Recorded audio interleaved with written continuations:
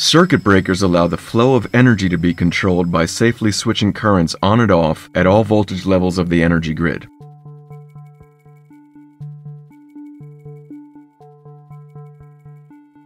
In the open position, they have to ensure isolation across the switching distance, between phases, and to ground. In the closed position, they have to allow the energy to flow with minimum losses They need to be able to reliably interrupt short circuit currents without damaging themselves or adjacent equipment, even after long idling times. Different circuit breaker technologies are in use, depending on voltage level, application, and the age of their design. Current interruption takes place in interrupter chambers containing air, oil, SF6, or a vacuum.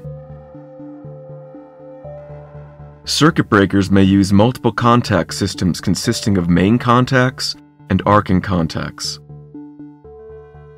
The main contacts allow operating current to flow with minimal losses, while arcing contacts can break short circuit currents with minimal arcing erosion.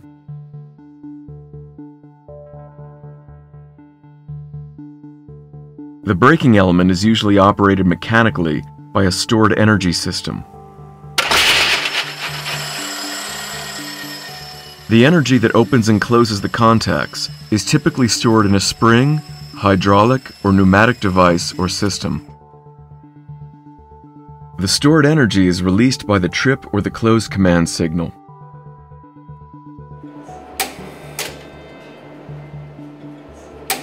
The command signal activates the trip and close coils, releasing the drive mechanism to perform the opening and closing operation. The interrupter and the mechanical drive are the main components that are subject to wear and aging. The thermal stress of load currents may cause corrosion and oxidation, and the interruption of short circuit currents erodes the contact system. Environmental stresses, such as temperature, humidity, or contamination, affect the bearing and linkage surfaces of the drive.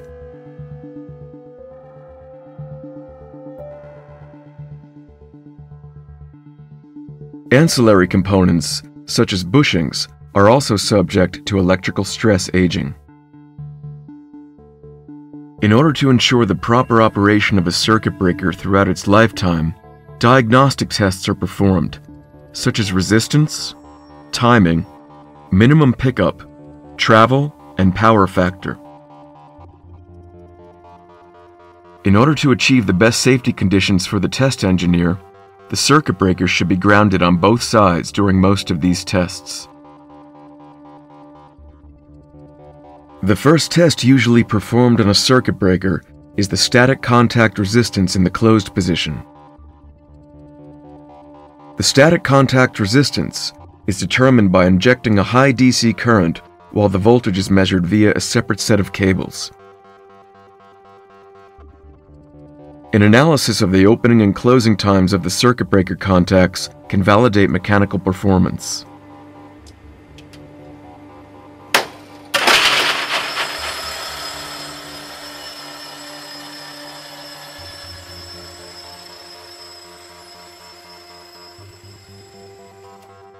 Differences between individual contacts and individual phases must fall within defined limits.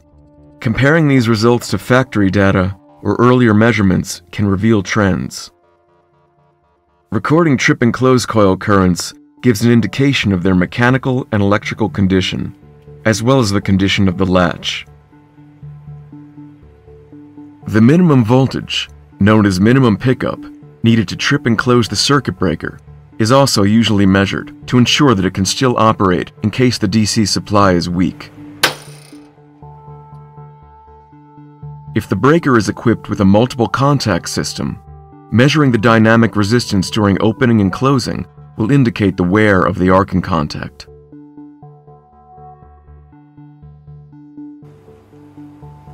Additionally, if the circuit breaker travel curve is recorded, it allows mechanical parameters to be assessed, such as velocity, total travel, acceleration, over travel, and rebound.